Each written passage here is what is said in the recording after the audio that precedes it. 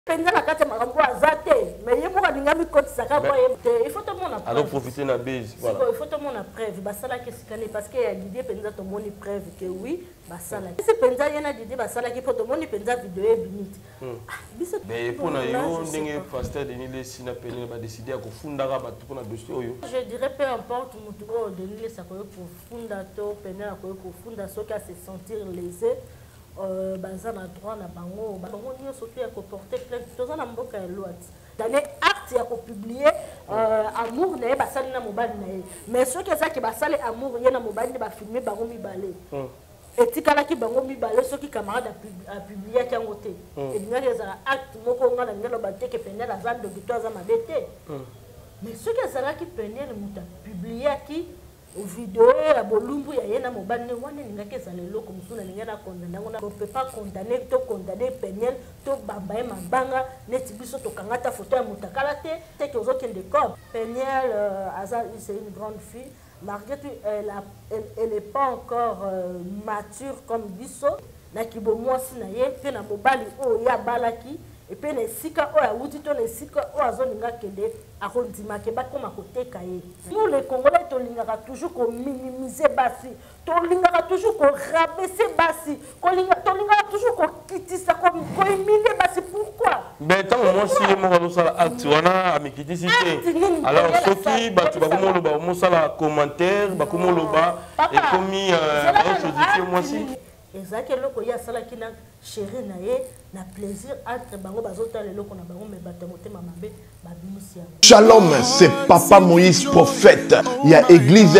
ozana naye kopesa bino message lelo mpo na baoyo baza na bablocage balimitation bamari de nuit baesprit de mort bamaladi oyo esilaka te mais mingimingi naza na besoin ya baoyo batambola partout oyo baluka badelivrance oyo bamata kutu baavion mpo na koluka badelivrance esimba te naza na besoin na bino boya mpo bobika mpo ete ngonga na bino ekoki awa babenga yango terminus awa nde ezali esika bademo nyonso tu basukaka moto moko nana ya awa te azwa delivrance kabika te nano esalama te bango nyonso tu babika avant kutu boya bofukama bosenga saint esprit alakisa bino soki papa moïse azali ya ye ubia ya ye te akorepondre bino tout de suite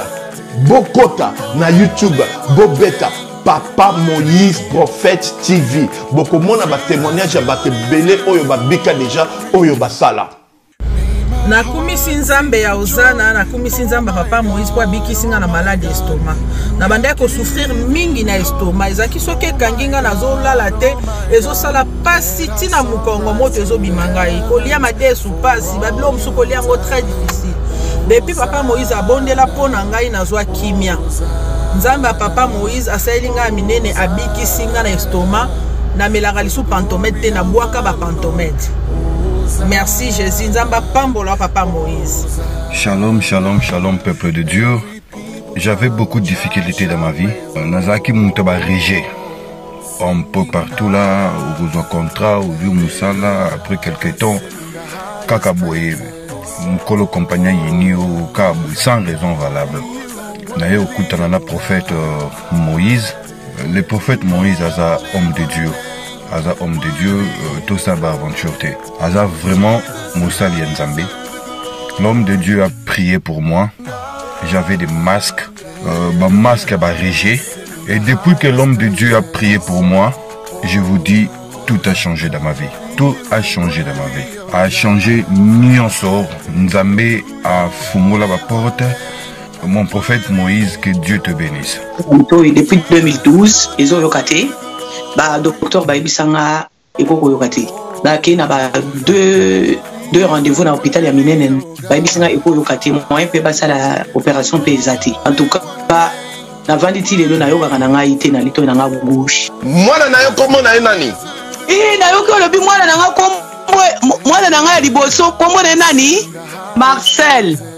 nazoyoka nakangi ka litoyo oyokaka nazoyoka na oyo banda koyoka te ça veut dire que nayoki nzambe na ngai oh, napusi kutu telefone mosika profete my god nazozela bino nyonso tu na moto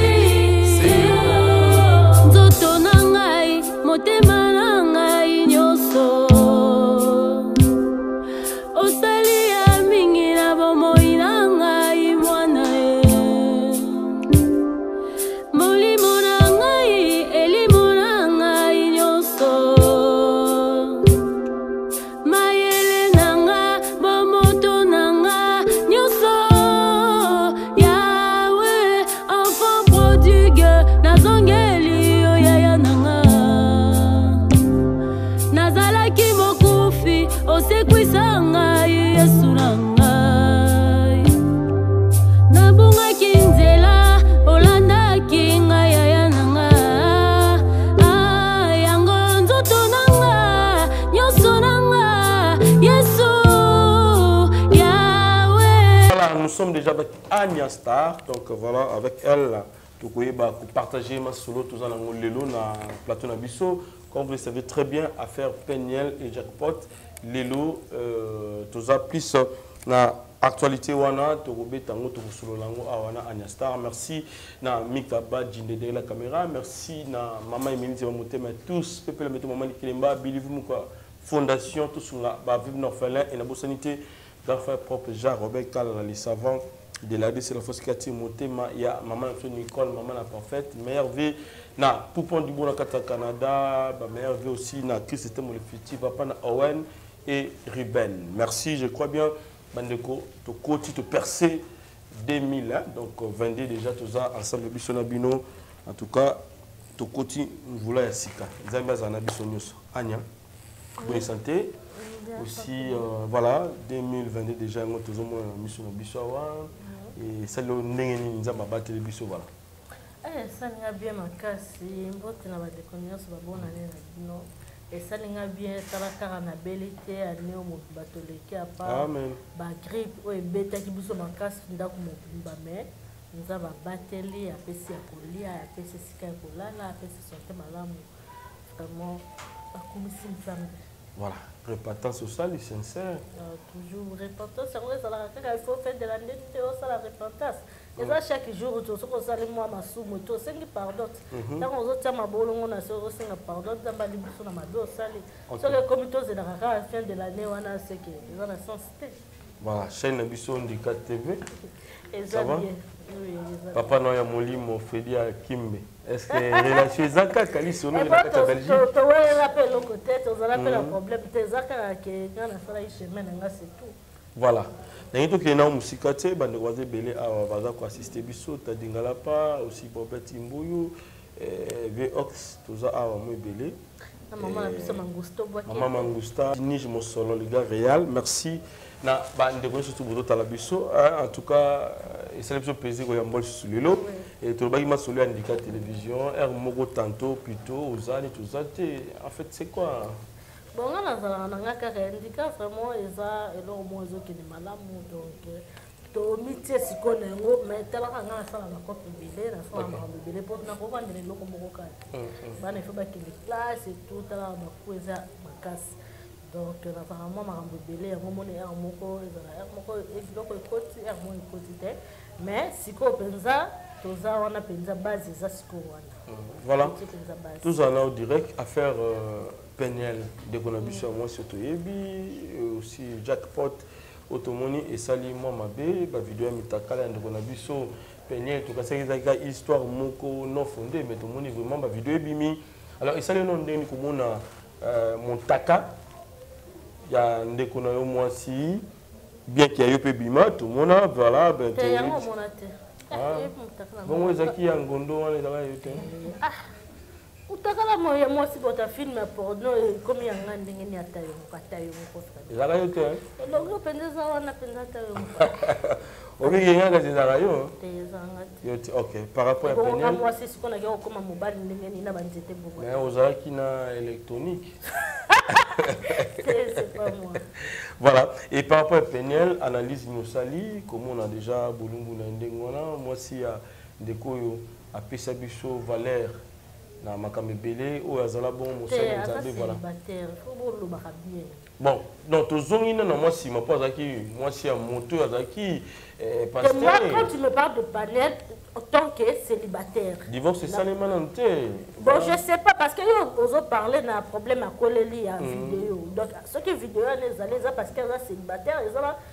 Euh, petit copain na non tozozonga nano na nsima te eza lokola yo anya ozali mwasi ya pasteur motakala na yo déjà ça montre que mabe na yo ezali déjà auparavant na sens wana to mwa soni wana voilà non ça veut pas dire ça ça veut pas dire que soki osali erreur moko lelo elobi ke lobi Euh, parce que osala erreur moko lelo ke lobi na yo ezalaki mabe ke place ozalaki na libala wana ezalaki mabe non eza erreur ekomi euh, motu nyonso tuna mokili asalaka erreur ekomi esalami esalami ngai vraiment na trouve yango soki problème ya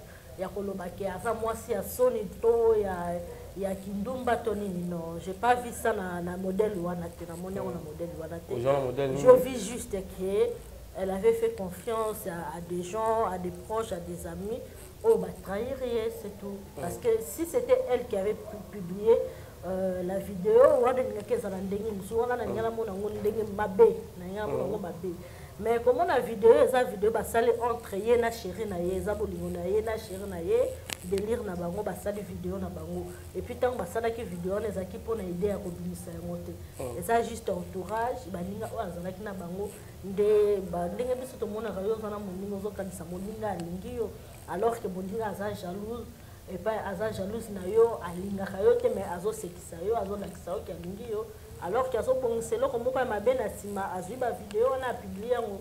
donc soki ezalaki ke moninga asalaki yango te biso mpe tolingaki tomona yango te elingaki esukaka ye na sheri na ye to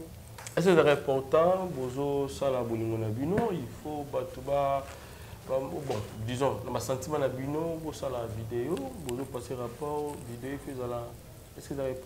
non na bato mosusu ezalaka nango eza important te hmm. eza important te mais na bato mosusu batrouvaka plaisir peut-être aza na chéri na ye bozalaki na moment moko ta mosusu ya badelire eh, esengo elekaki mingi olobi chéri atie telefone tokanga mpe to immortalise moment oyo boimmortalise peut-être na photo peut-être na video c'est entre vous deux peut-être bobianga na kotala yango yo mpo ozala nango totalaka sans que makanisi ya mabe ya kopublie oyebi ke bareseau sociaux eza kutu bareseau sociaux te eza par rapport ya éducation na motema mabe oyo tokomi nango lelo biso bacongolais parce que mm. motema mabe wana soki ezalaki te na éducation ya mabe oyo bato mingi baza nango te mais mm. même réseau sociaux soki ezali mais babangisaka bavideo te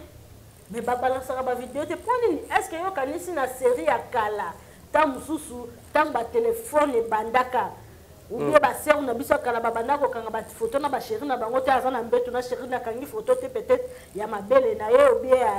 ya amour na bango bazosala ezalaka mm. Mm. mais ebandaka nde kobima te na réseau sociaux parce que na série wana bato bazalaki na boandroid ezalaki te ok non kibomoto eza même pas question ya android ou quoi eza kibomoto nde eye kolongwa biso série wana kibomoto ezalaki mais oui jusqu'aujourd'hui eza na bato oyo baza nao na kibomoto oyo amoni ke nakozala peut-être na video to photo ya chéri na ngai atindelaki ngai etout nakoki kobimisa yango te meme soki tobebani mm. yo moko te ah so nabimisa yango eza mabe oyeba kaka eza ngai eza kitoko te nakoki kobimisa yango te okozomona osupprime yango mpo bobebani osupprime na yo yango ozala na yango te comme so okobungisa mpe telefone etout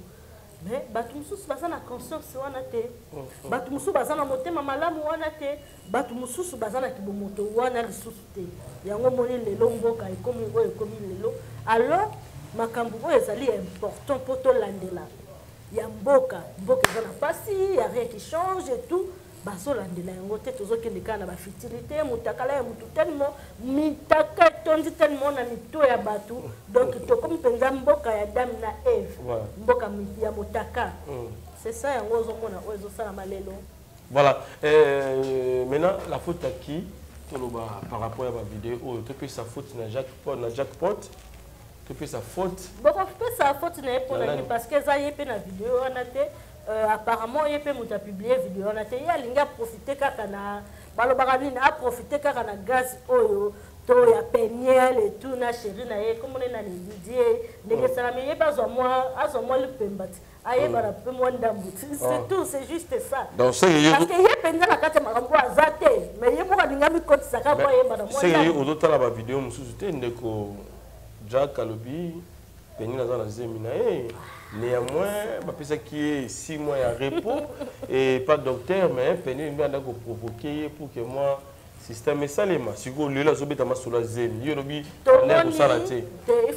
azoprofite na base voilà. il faut tomona preuve basalaki esika nini parce que ya didie mpenza tomoni preuve que oui basalaki eza likambo ya preuve yo mobangi faut pas bafilmaka na nyonsosoki non papa tika hmm. elakisi mpenza ye na didi basalaki mpo tomoni mpenza video ye binite hmm. ah, biso toyebi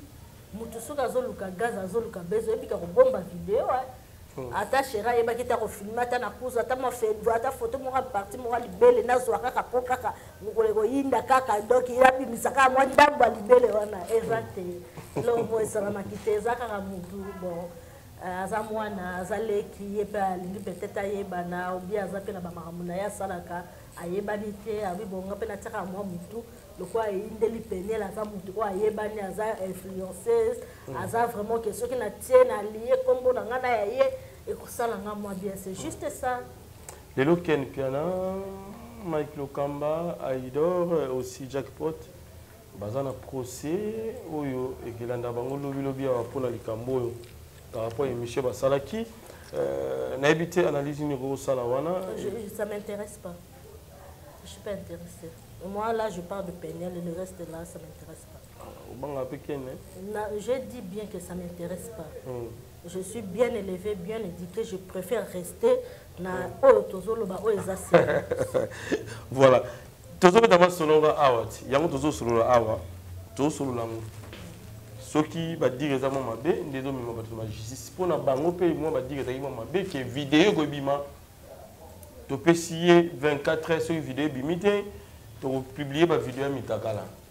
Et ceux qui azongisi compte ya Instagram te tozongisa tokotia ba video ya mitakala yango tomoni ba video ebimi nde bafundi bango par rapport à ça. mais mpo na yo ndenge pasteur denis lesi na pene badeside ya kofundaka bato mpo na dossier oyo eselo nini est ce eza par rapport ya personnalité ya ndeko mwasi ndenge moi je dirais peu importe motu oyo denis lesi akoki kofunda to pene akoki kofunda soki ase sentir lese euh, baza na droit na bango baza na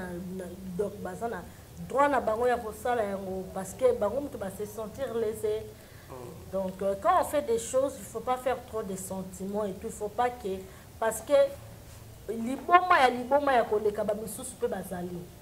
okay. mais baliboma mosusu eza liboma mosusu moza na éducation ya bien tu peux faire des choses mais il y a des choses que toi même tu sais qu'il y a des limites il y a vraiment des limites oyo okoki koleka te donc c'est ça soki ba se sentir lésé na oyo bango bayebi ke eza bongo te baza na droit na bango nyonso to ya koporte plainte toza na mboka ya loite na état de droit makambo ezosalama lelo eza lisusu baaventure ya kala te okoki koleka lelo peut-être olobi makambo moko oyo okoki koloba te oyo bato bazotrouve ke vraiment eza normal te mais toi tu trouve normal à le dire euh, ndenge yo olingeli parce que oza juste na besoin batala yo eza malamu te donc soki ba se sentir lese bango moto bayebi oyo bazosala ngai nayebi eloko te parce que eza vraiment problème na ngai te voilà na part ya pasteur dinilesi ndenge atekaki ah, peniel mpo ndeko na biso jack potima alobi soki ayebaki peniel c'est grâce ya pasteur euh, grâce ya prophète euh, nde na nzela wana tout ça omoni deja motema ozopose ngai question question wana hmm. oyebi déjà que question ozo poser nga déjà eza lokuta parce que ntango peniel abalani na pasteur mike okay. tout ce qui s'est passé autour na bango wana na badivorce na bascandale nyonso tout babeurs mm. nyonso elekaki mm. congolais moko to akoyebisa nga oyo ayebi peniel te aza te aza te hmm. congolais yango mpe nani eza ta mwana poto to abotama na poto ntango mosusu abotami nini na poto te ntango neti bambape wana abotami na poto alandaka nde ntango mosusu makambo ya kongo te me koyebisa ngai te mbape ayebi félix te ayebi président fati te ayebi hmm. ye hmm. parce que aza mwana mboka ayebi ke ah président na biso mikolo oyo eza tele ocomprendre mm. eza ndenge moko na peniel na oyo nyonso elekaki oyo tout autour na peniel ngai nayebi peniel ndenge nayebi peniel nde nayebi peniel nayebi ye mwana na ngai kutu aza na witata mosusu peut-être akoki koyeba peniel te mais akoki koyeba ndenge totalaka na ye bamusike ayebi paster moïse ba musique chrétienne to er mona téléphone ayebi pasteur Mike et tout ayebi kutu papa Wemba ayebi Kofi ayebi JB ah c'est c'est maman mais JB pe ayebi bango mais akenda ata concert te akenda ata nini te mais aza ta o oh, mutu ya milieu te mais ayebi kuna nini toza bana kini donc yo oza koaccepte te ke euh, jackpot ndenge azolobayebi peniel trnzela eza mpe eloko ya cope te eza mpe eloko ya cope te moi je crois pas ke Penielle akoki ko accepter ba banda ko teka ye pa ya mibali non je suis pas sûr mwasi moko akolinga ngo aza te okozala na vie na yo peut-être bobimi bosali sorti na vie na yo moko boye boke place moko boye eh, bapeti ya vie na yo moko bie baconnaissance tu tosepelaka na fille oyo api topesa ata mbote vie vie balinga awa pas de problème bopesa mbote entre bino bopesani mbote etu ah, bomoni kenya bosololi bien entre bino bajeune pesanga ata numero na yo tokobengana topesanaka mbote ça c'est pas ça arrive mais lobi te ke basaleli yo cop oyo jankota oloba déjà à l'attendre dire ça soki ozoyoka ndenge azoloba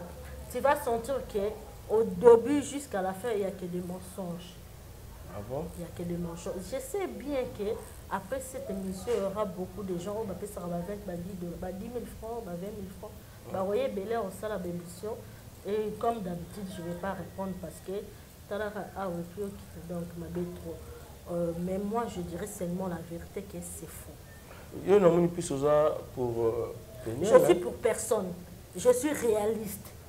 Mm. C'est tout.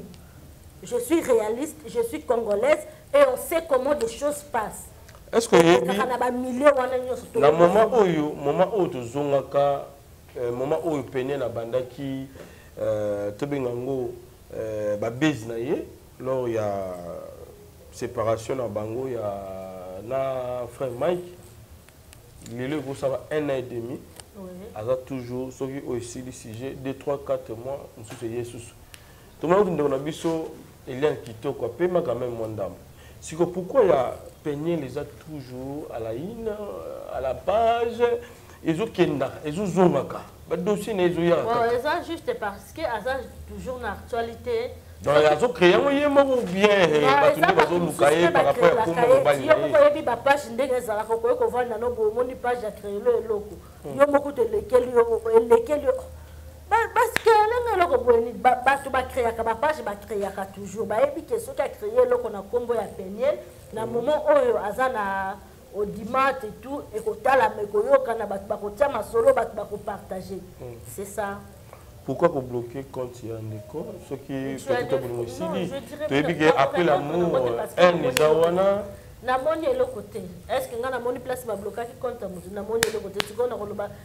asali malamu to asali mabe te mais jake mpo ozala oloba yango te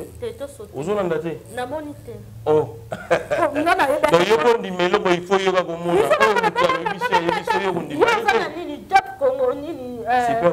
super promote sikoyo yo koya koyebisa nga ke ane ndenge ezala na vraiment bobeti aza mwana mabe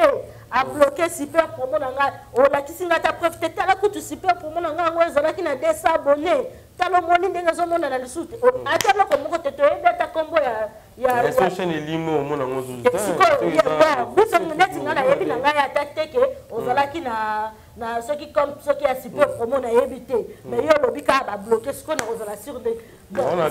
ata ozela mm. ezomonana te tosalaka bacapture tosalaka bacapture euh, page na yo mo bafoto otia kosali bacapture eza te non lakisa ata preuve yango tala mpenza bobetisa na tala eloko na nga abloke yango mpo tondima hmm. tokende na banini yana te bato bazoluka mwa bayebana basala mwa nkombo na bango totika bango topesa bango chance ndenge ah. bazomeka kosala eloko na bango mais tokende na lokuta lokuta mingi te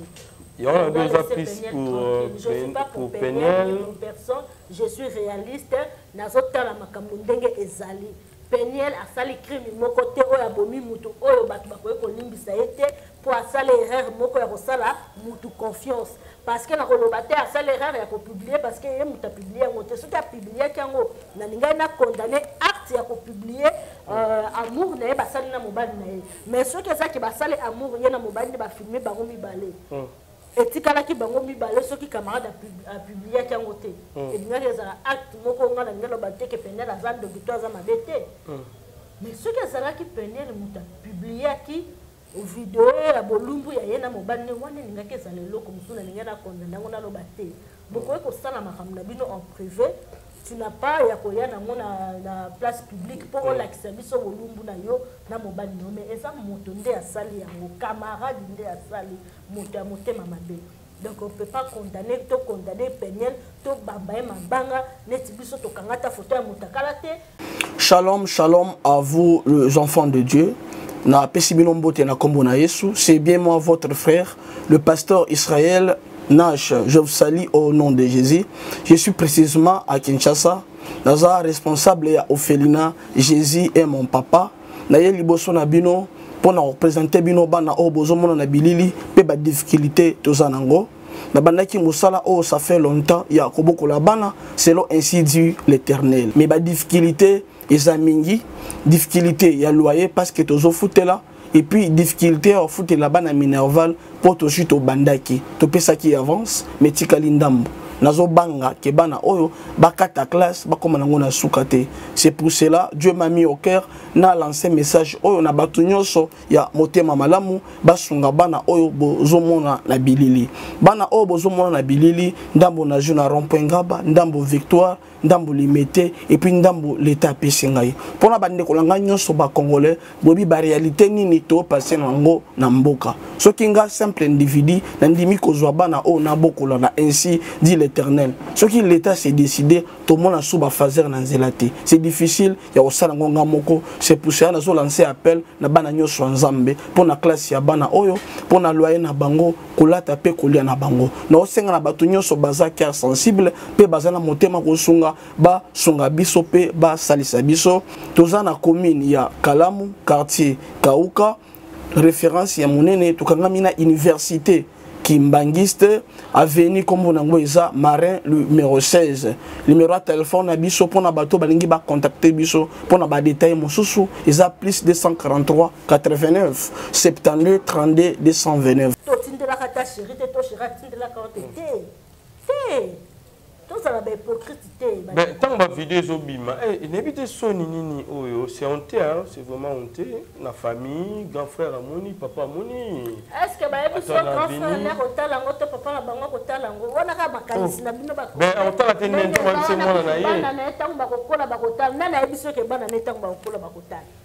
Est-ce que oyebi video na etikali libela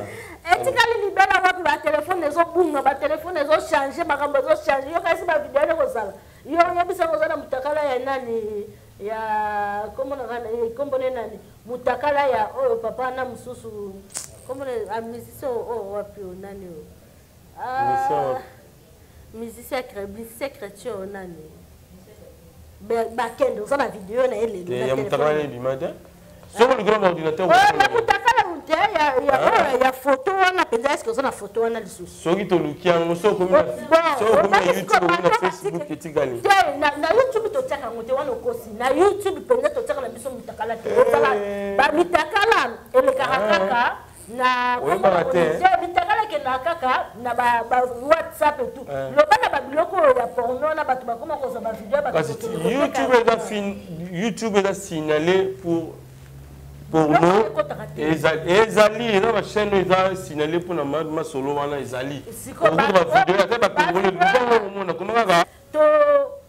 tokosa te po juste kaka bato batala toloba siko système ya bacope oyo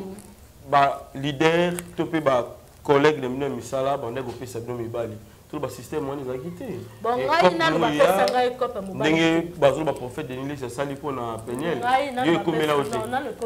te kaka oyo na suspetaka ke peut-être Euh, bayebaki ti batinda nga kuna na allemagne mpona ke ozwa mopeda mosusu bayebaki bango moko mai nalingaka kokota yango te lokola bayebisaki nga te ke ozokende cob hmm. nalingaka kojuge bato te kokondane bato te hmm. donc nalingaka te euh, nga nanu basala yango epai na nga te koloba ke pasteur denis les asalelaka peniel cob naza sur te nandimi te peniel euh, aza use une grande fille Malgré tout, elle, a, elle, elle est pas encore euh, mature comme biso. aza nanu moi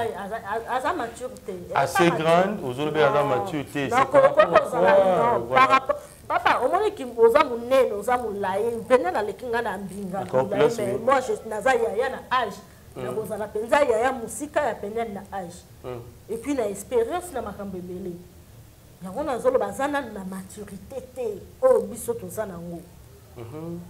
to na esprit oyo oh, biso toza nango mais je crois pas que na kibomwasi na ye mpe na mobali oyo ye abalaki epe na esika oyo awuti to na esika oyo azolinga akende akondimake bakoma koteka ye na ndimi te parce que ayebi aza consciente ayebi ke moto aza kaka moto hmm. moto aza kaka moto moto oyo ngai nakondima akende koteka ngai kaka ye nde moto akoya kobimisaki atekaki ngai toyebi yango bien beton yozoloba boye ye moko prophète alobaki bien na écran ndeko aza na posa ya peniel aya ye azosala cope ya makambo nyonso to wana posa na ye nde bandeko baya ebele ntango yo ozoloba ke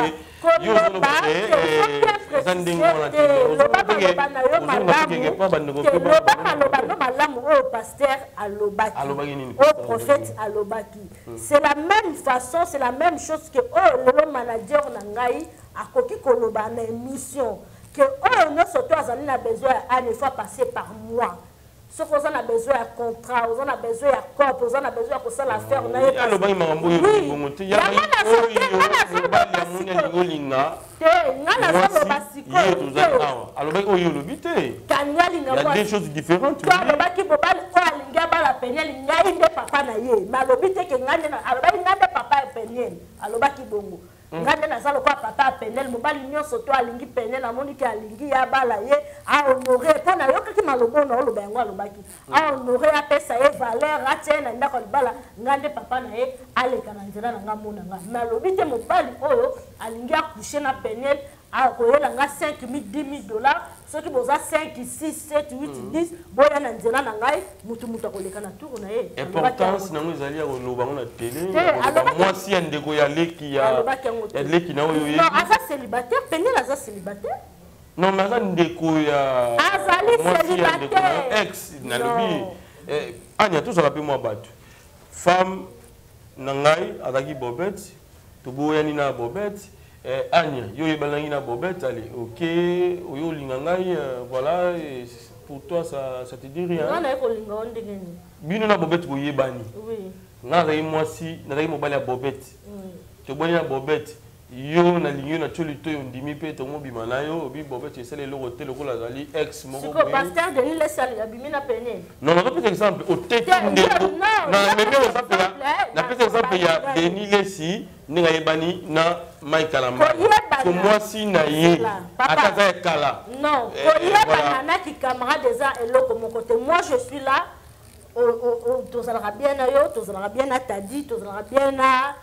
Euh, bobete relation oyo naza nango na bino peut-être naza nango na bato mosusu te peut-être bato oyo bazalaka epai chik naza na meme relation moko ndenge tozalaka mpe na chik naza na meme relation moko na bato wana te mais toyebani tokutanaka tovandaka tosololaka mais on n'est pas des amis si, si. on n'est pas des amis avec eux peut-être bino nayeba ah bobete amonake ah wana mobali ya ania ah te nakolinga mobali ya ania te ngai mpe nata ah mobali ya bobete nakolinga ye te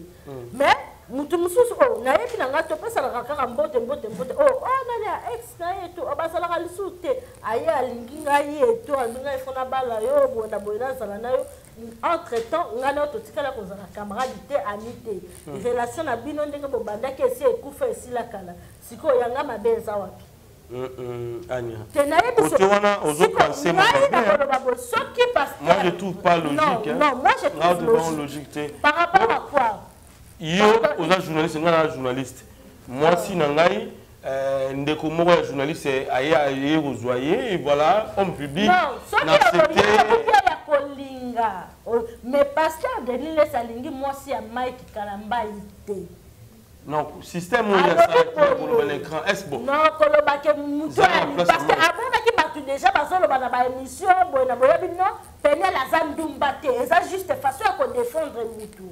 Aza ndumba te. Oyo alingi abala penel, mm. akoleka na nzela na nga parce que ngai na milieu public naza lokola papa ya peniel mm. donc naza papa ya peniel ngai nde mpo natala naye bamobali yango aza nani estce aza moto malamu soki aza motu malamu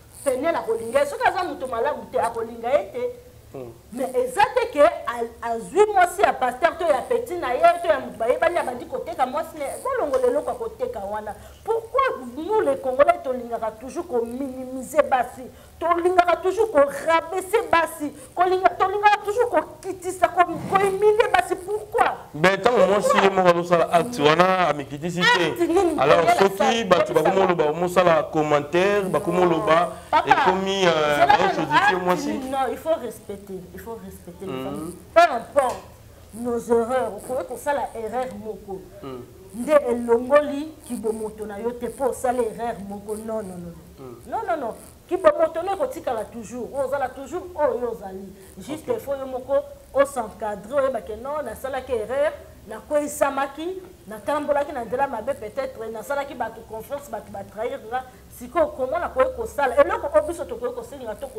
kotikela peniele eza nini chance eza nini kopesa ye euh, bacourage ebele oyo eyeli ye lelo hmm. azala sikoyo mayele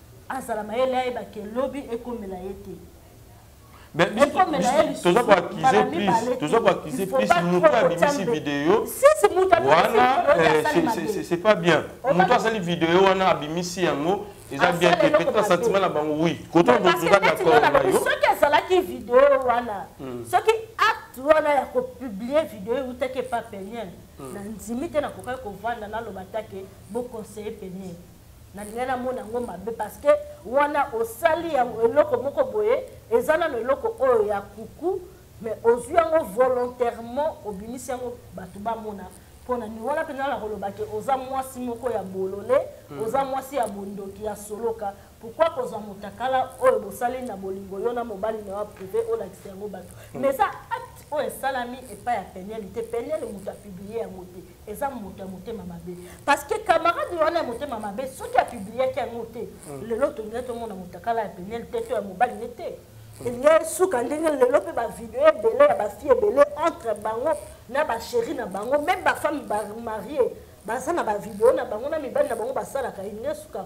entre bango na bango hmm, hmm. eza na video moko ya motakala tomona papa moko boye na poto na mwasi na moko ya pembe babanda kosala amour bafilma bolingo na bango bango mibale kaka bakamarade bazwa video wana babimisa yango mais lelo papa wana na mwasi na babalana papa wana mpe akokaki koloba ah lokola deja ah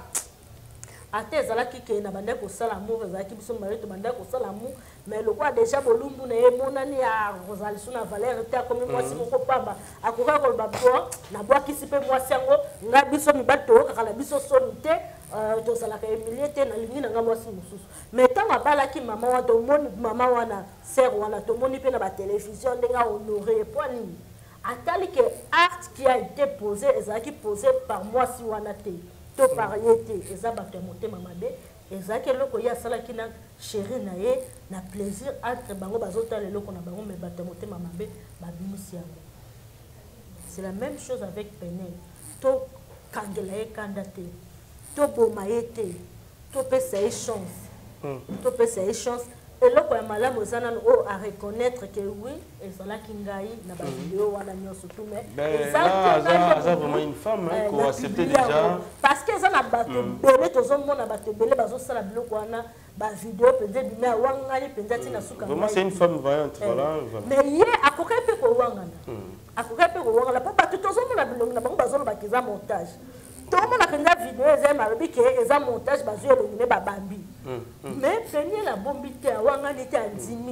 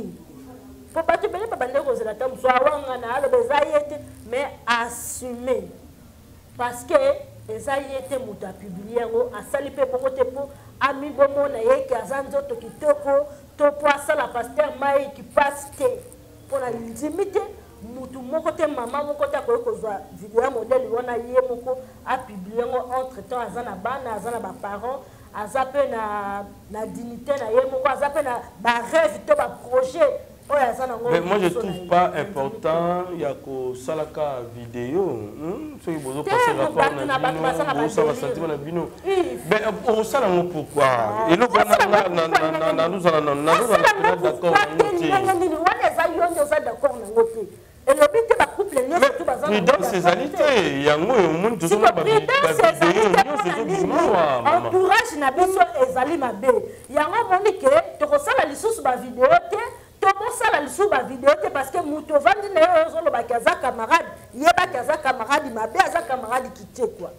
moto oyo ovandi na ozolobaki aza sheri na yo bolingo na yo motema na yo yebaki aza bolingo na yo te aza bolingo ke oyo oh, peut-être aye par piège batindi ye asala yo mabe yango tokomi kobaa mpe kosala video nde nini eza comme euh, Euh, remède to mpe eza delire ya motu na motu yo peut-être delire na yo yo mokolo mosusu ntango bafutaka yo salaire no ya liboso ya youtube osombaka voiture mais ntango nga bafutanga salaire na ngai ya liboso ya youtube na bete ngai mpo nga nalinganaka bavoyage nga mpenza delire na ngai eza voyage nalela voyage donc nakokovanda esika moko ntango molai te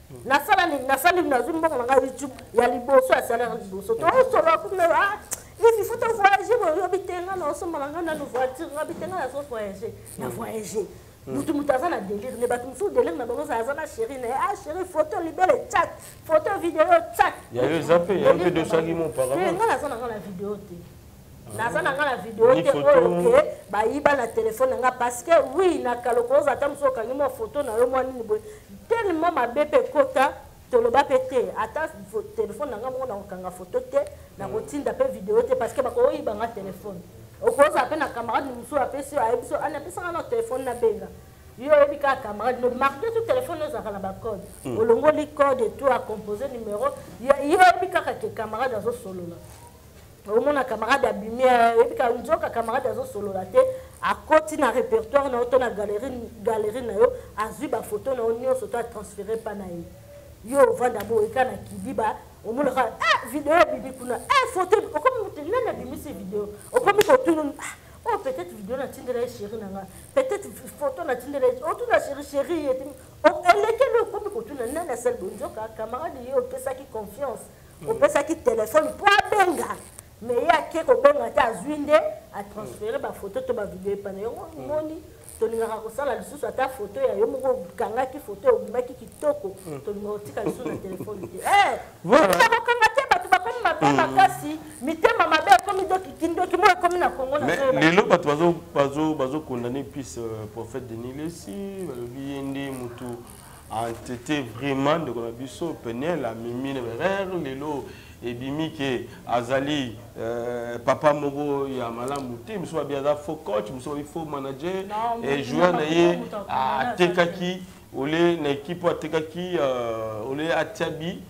ye nde aketya bi na ekipe euh, oyo atyesi bi moto akoteka motu oyo olobi nini na makambo oyo motu oyo ba ya ko condamner nga na moni aza na kati wana te eza erreur esalami l'erreur est humaine mm. euh, tolimbisa ndeko mwasi tolimbisa euh, bato mpe bato nde bazoya koloba lokuta nde bango nde baza mabe baza mitema mabe mm. baza toujours euh, oyebi ke tolingani te na kongo oyo kongo oyo tolingani te bato na kongo baza kaka plaisir na bango eza komona moninga ndeko mwasi to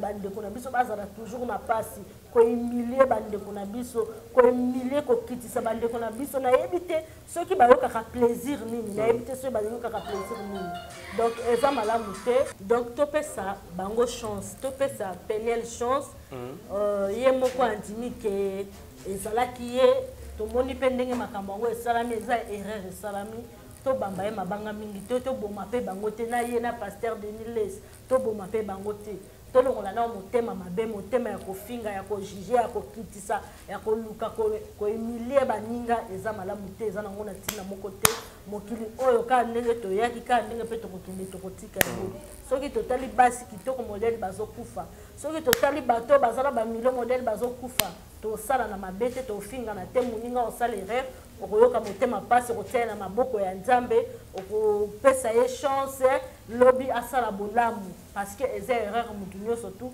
asalaka erreur na vie chacun de nous aza na façon na ye peut-être nga nakosala erreur moko boye mm. euh, oyo oh, nafingaki ntango mosusu mutu nayinaki oyo oh, nakangisaki yo oh, tu nyonso twana eza baerreur voilà mais plus bato baza koaccuse eza mpona ndeko basala divorce te ntango osali divorce te koluka deja mibali bazoyebana mibale misato mecran nde kotana ezosala mwa mabe makasi kotwana bozolobela yango te Bon, non. il faut kokende na procédure normale ya divorce. Non, non, eh, okomi libre voilà. Papa, déjà soki bokabwani mbongo libala déjà ezongi bon ba famille mosusu bazongi. Non, bazongi mbongo libala te. Balobi bazongi sa master Mike Gazwa déjà mbongo libala bango moko mm. balobi bango oui, bazongi sa mbongo libala kala donc libala déjà ekufa déjà ezalaka lisusu te. Ezali kana niveau ya l'État. Na ba famille mosusu te ezalaka libala mbongo ezongaka te, mais na ba famille mosusu neti ba bango baloba bazongisaka mbongo ya libala e, esila dejaadenge aza na koyi mpe kobala coutumièrement mais na civile nde akozela kobala na civile mpo il faut basilisa procédure ya civile mais coutumièrement akoki kobala mpenza abali mobali na ye bavandi ndako moko aboti mpe bana mosusu mm. même ceux qui procédure il y a tribunal et besoin 2 ans 3 ans 4 ans mais elle est déjà mariée ti bah ça la procédure aza ah, na mobali wana akufi lelo akozala veuve ya mobali wana te parce que